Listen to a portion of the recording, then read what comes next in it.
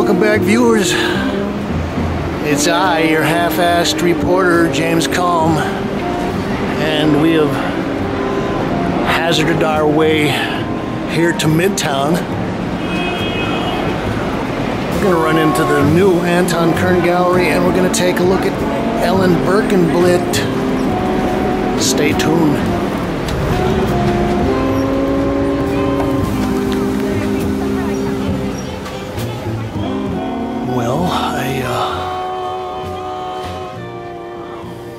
Probably covered many, maybe a dozen or so uh, previous exhibitions at uh, Anton Kern when they were down on, I believe it was 20th Street in Chelsea. And I guess they closed that gallery six or eight months ago. Maybe we'll splice in some some footage of what's happening there on the south side of 20th Street. Well, this was the original Anton Kern Gallery. Must have been here for about 12 or 15 years. I covered some wonderful shows there. Nicole Eisenman, Chris Martin, Bordelami. I did several shows. They're all closed now. Johann von Mises was there. And Zaire Smith. So uh, basically, that whole south side of 20th Street here in Chelsea is gone. I wanted to make sure I came in and saw this exhibition by Ellen Berkenblit.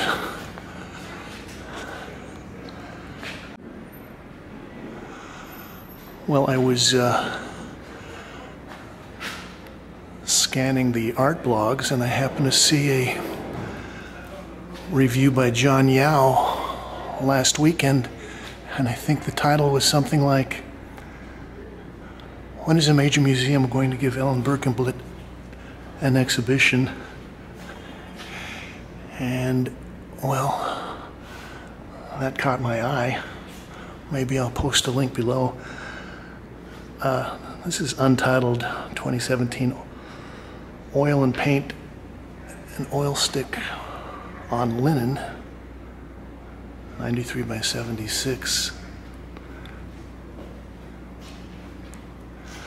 Well, as someone that's hung out in the New York art scene for about 30 years, I started seeing Ellen's work back in the East Village days. And, uh, well, she's one of the survivors. A lot of the, a lot of the people that uh, started careers there didn't make it. Some of them have gotten famous uh, post- posthumously. This is titled I Don't Object If You Call Collect. And this is one of the interesting pieces. This is oil paint stick and charcoal on calico. And uh, one of the things that Ellen is doing with this new body of work is that she's introduced um, sewn fabric. So she's got uh, different kind of prints, but also she's calling it calico. Now, I guess that could just be a, a general kind of a print on fabric, but I always thought it was plaid, maybe not. And, uh, well, these first three paintings kind of uh, give you a clue to reoccurring themes. So one of them is her portraits of horses. The other ones, the pieces on calico, are more abstract. And then she's got, uh, I guess, what I would call fragments of bodies, body fragments. So you've got hands and feet but uh, they all have a very kind of obvious feminine quality. So we've got the the fingernail polish and other little details.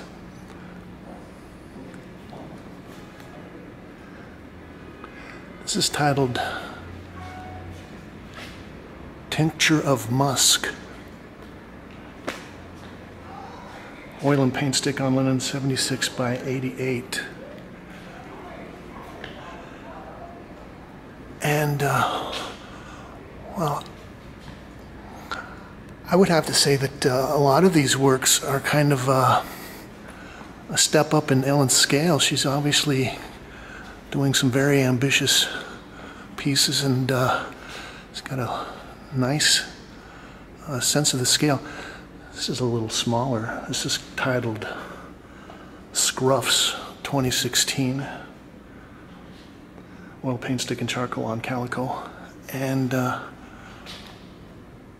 this is one of the pieces where she really basically just kind of draws on the calico and uh, lets the calico come through as a major part of the, the composition.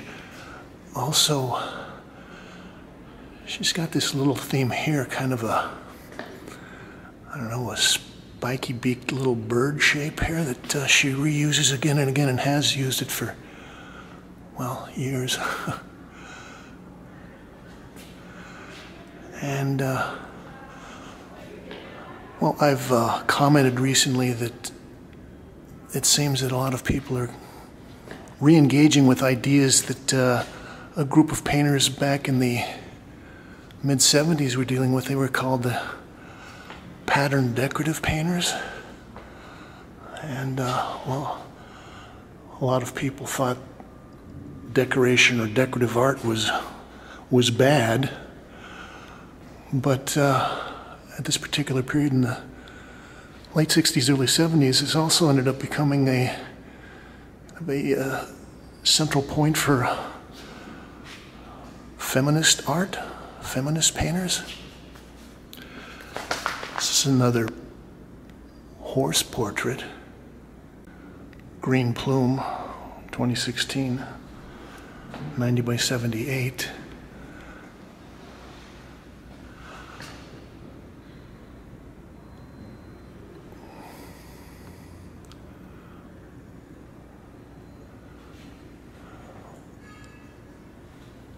Also, I think it's interesting to note that a lot of these pieces are on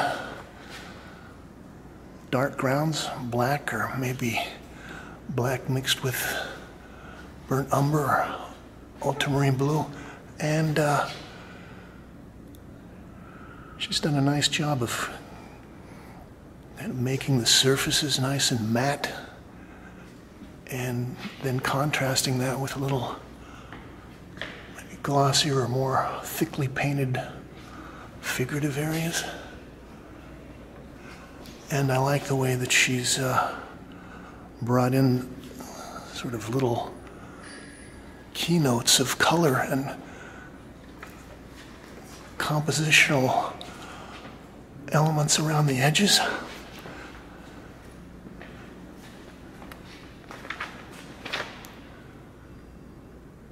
I like this one. This is probably the smallest painting in the show. It's titled Jonesy, oil and paint stick on linen. This is only 18 by 26 inches. But a lot of this even carries over to the large pieces, which is kind of a uh, very loose, almost uh, sketchy or drawing-like quality that she approaches these with. And, uh, well, like I said, she's got dark backgrounds, but she's using very nice, uh, punchy, maybe some fluorescence, and, uh, and a lot of this green. Well, I was impressed with the uh, the new gallery space that uh,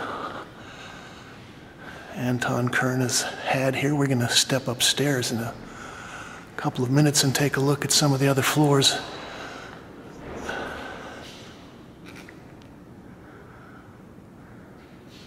This is Untitled 2017.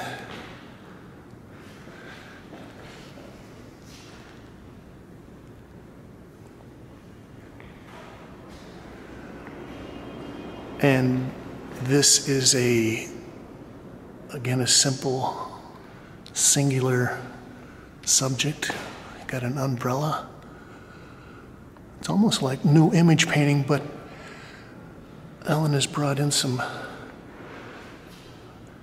nice, simple, but dynamic uh, elements in the background. Somehow I saw this and uh, thought of Matisse.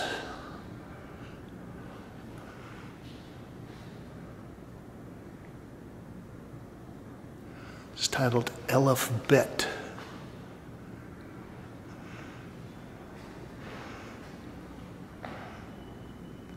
Seventy-six by ninety-four. That's about six and a half by eight feet.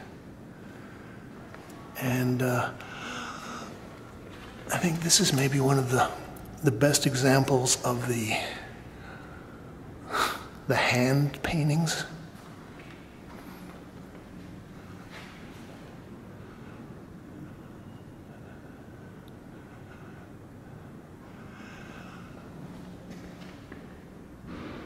And yeah, she's done a lot of uh, working of these surfaces. There's a nice pentimenti.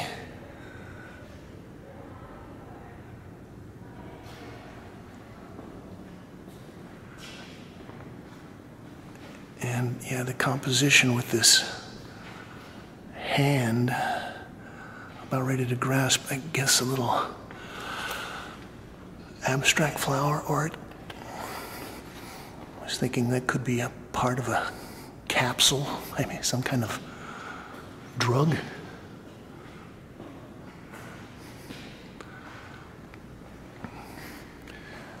We've got a couple more of the horse paintings, although these have been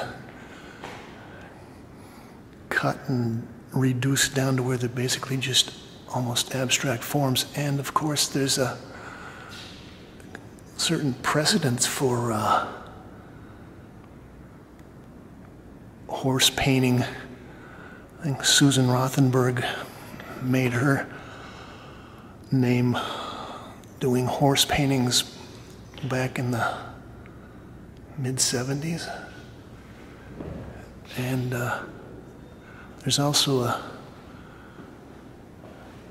kind of a girly kitsch aspect to this. The, the idea that uh, maybe the horse is more, I don't know, more loving, more uh, deserving of of love than any any other kind of creature. As long as you don't have to stable them and feed them and uh, clean out the horse shit.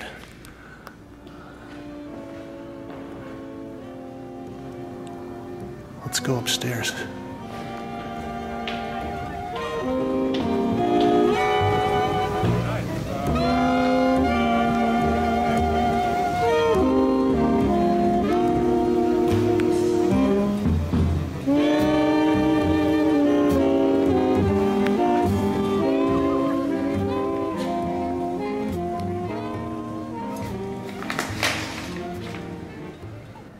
This is titled The Foot. 89 by 76 inches. Oil and paint stick on linen.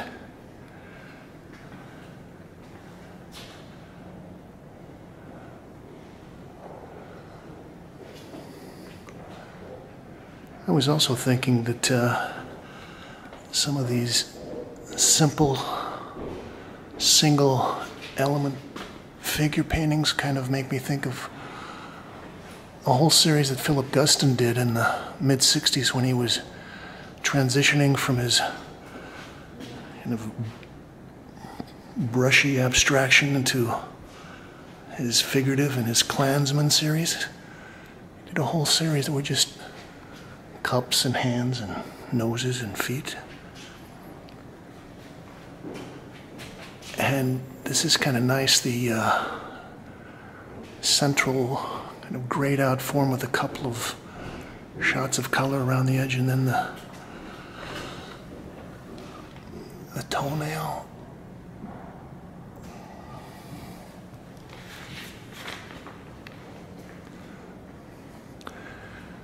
It's another hand painting.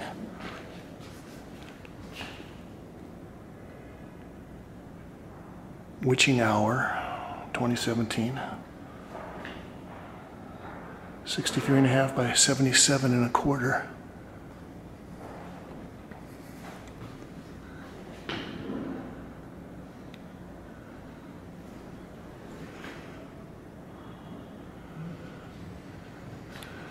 Yeah, I think Ellen has got a nice, uh, nice sense of how she uses the edges of the canvas, kind of the cropping. So I've got that thumbnail coming right up to the edge there, and that's echoed by this other nail here, your index fingernail in the corner.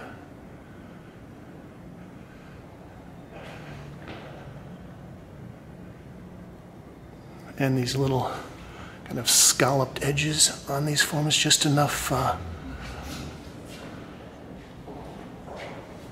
enough detail, enough attention to give you a kind of a like I say, a feminist note there, a feminine note.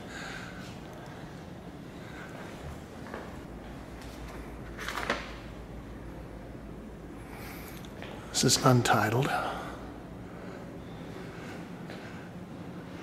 And we've just got a, uh, a little bar at the edge. It almost reads as a part of a letter, maybe a T on its side. And, uh,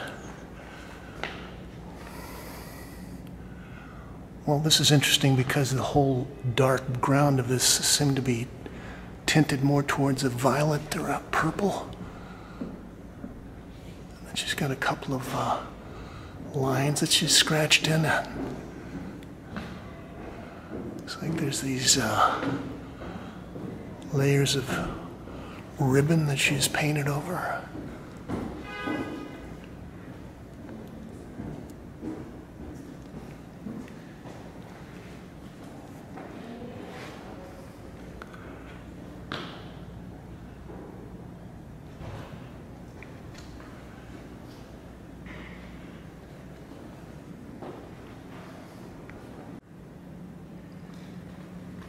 Untitled 2016, 75 by 66.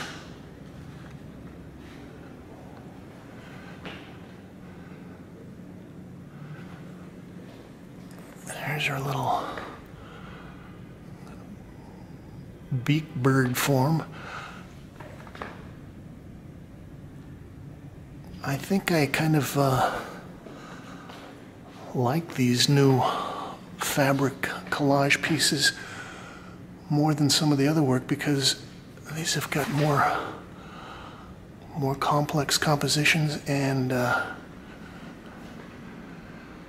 I think it's even maybe more challenging to uh, stop at a certain point and uh, let the ground show through. I kind of like the, the ruggedness the almost an unfinished quality. And, uh, and the way that she's treating some of these lines and uh, the shapes that they delineate makes me think of uh, Diebenkorn.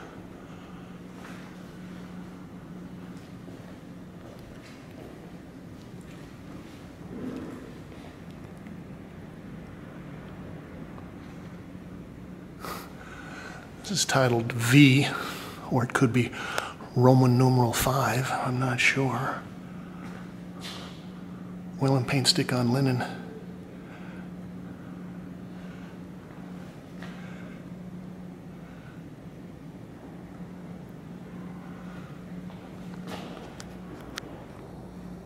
We've got our little details, as I said, that kind of add these feminine notes. And I guess somewhere in the press release they talk about there is no narrative to these pieces, but uh,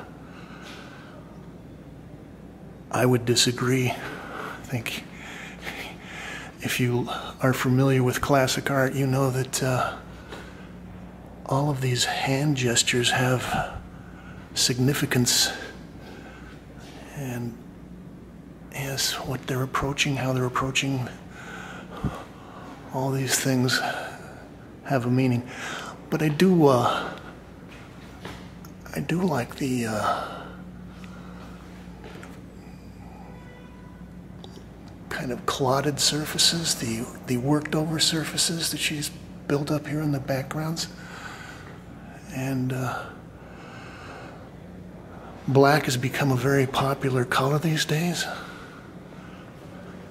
Again, so it's always popular here in New York. Untitled 2017. Oil and paint stick and charcoal on calico.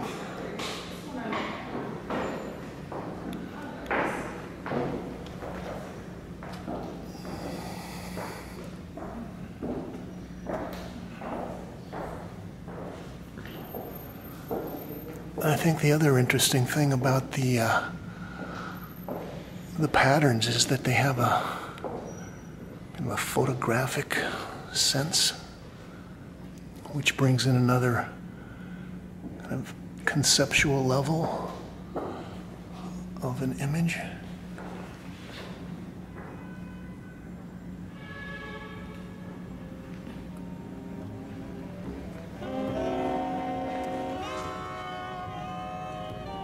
And I think the uh, the only other person, the only other painter I know that uses this color of green and does it in as effective a way is uh, Ellsworth Kelly.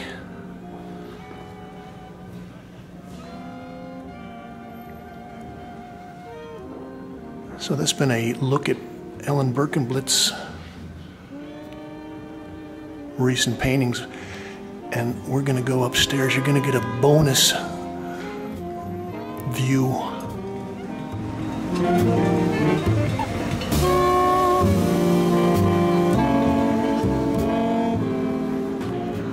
now we're going to take a quick bonus run through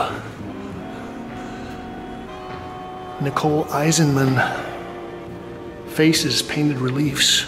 Well, I'm not going to take time to give you the titles and the names and the mediums of all these because there are a lot of them, but uh, I'll make a few comments and we'll slide down the wall.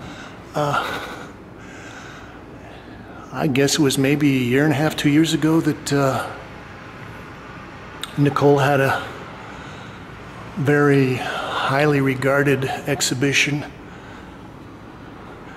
at Anton Kern in Chelsea, and uh, she had a project in the back room where she was showing some of her ceramics. Oh, well, this makes it easy. These are all untitled. Cast aluminum. Okay, so although they might look like ceramic plates or something, these are cast aluminum.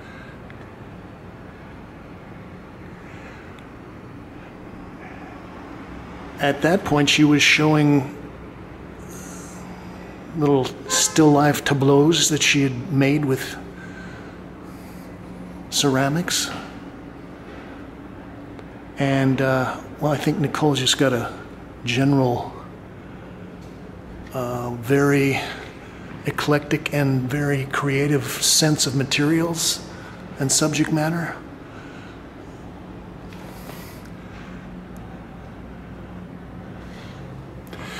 Some of these look like uh, maybe she's taken a piece of styrofoam that's been sitting around the studio, uh, chopped it up, poured various things on it. Uh, I guess I feel better about these being cast aluminum.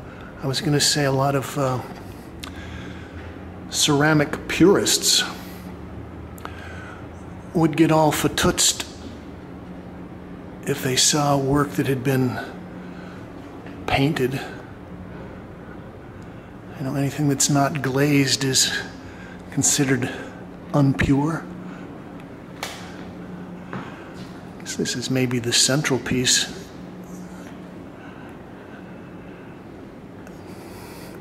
I think this is a good example of uh, Nicole's humor,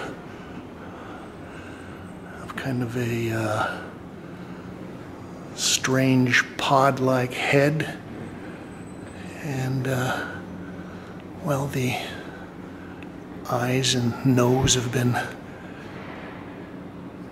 covered with glops of stuff. And she's got a bracelet and a wristwatch she has attached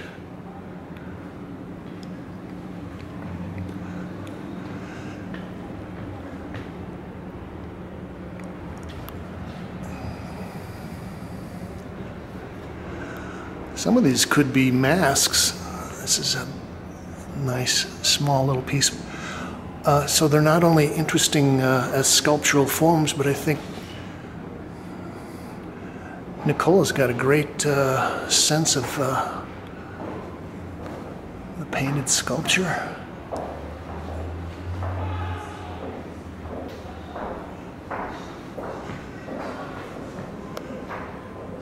I like this one.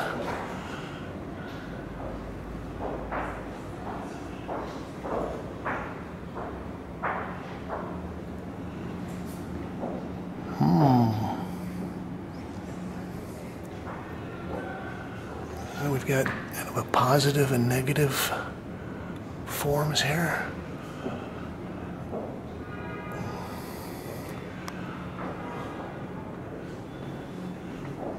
This made me think of Homer Simpson and maybe some of Joyce Pensato's paintings.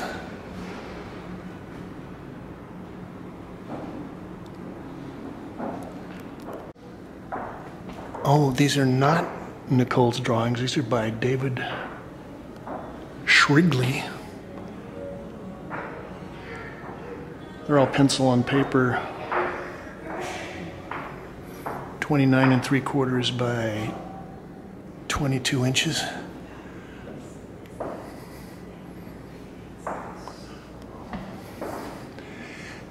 And I think they're all titled with a little text there on the bottom.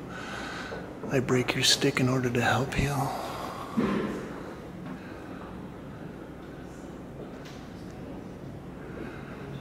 I uh, saw a couple of these and uh, thought of early David Hockney.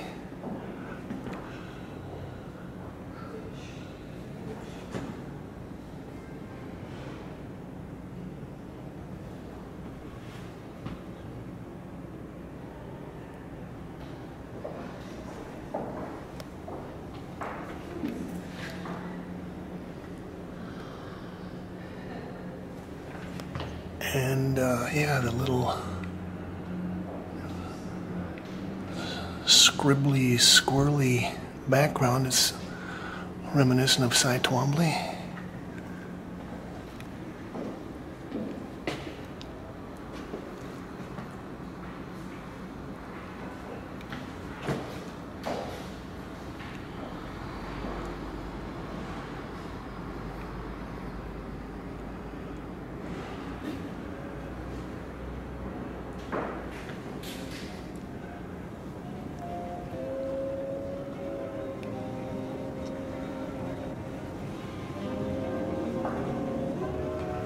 I drew her, she drew me.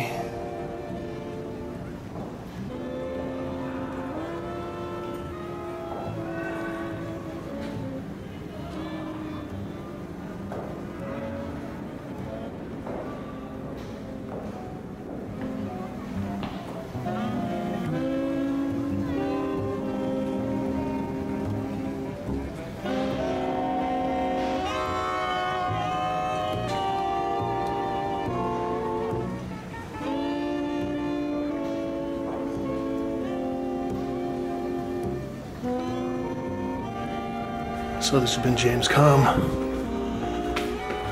And we've just walked through a couple of shows by Ellen Berkenblit, Nicole Eisenman, and David Shrigley.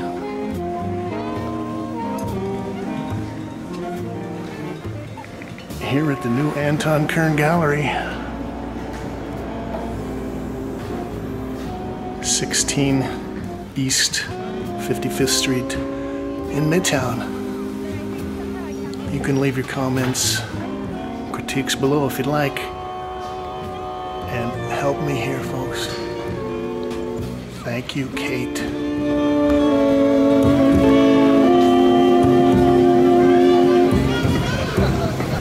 Evan Sherman Big Band.